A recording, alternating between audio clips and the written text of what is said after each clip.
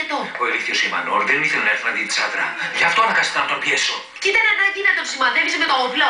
Σου είπα ότι δεν ήθελε να έρθει. Το πήγα στο σπίτι του να φυλάει την ερωμένη του, ενώ η Σάντρα ήταν εδώ μόνη της χάλια και τον περίμενε.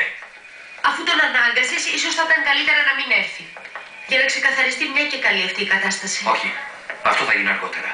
Όταν η Σάντρα θα έχει τη δύναμη να το αντέξει. Δεν ήταν αυτό που με ενόχλησε. Ήταν η κοροϊδία, η βία, η συνεχής επιθετικότητα. Η κυρία Πολώνια, εσύ, οι άνθρωποι γύρω σου. Δεν ξέρω ποιοι είστε.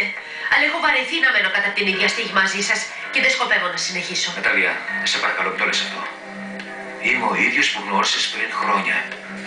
Ο άντρας που σ' αγαπάει. Όχι, δεν είσαι εκείνος. Εκείνος ο Βαλέντε πέθανε όταν ήρθε στη βίλα Σεράνο παντρεμένος με την ιδιοκτήτρια. Την πιο μοχθηρή γυναίκα στον κόσμο.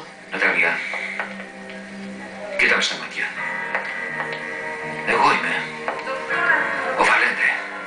Όχι. Είσαι κάποιος κύριος Φράγκο. Ένας παράνομος, ένας λαθρέμπορο. Ή ένα απελπισμένος άνθρωπος.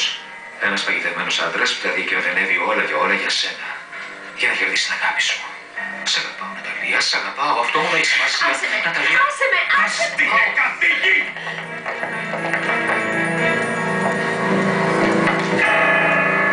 Με φέραν ως εδώ κατηγορώντας με ότι εγώ φταίω για την τρέλα που έκανες. Με κάνεις να φαίνομαι κάθαρμα. Μου ράγισε την καρδιά αυτό που έκανες με τη Χουνκάλ.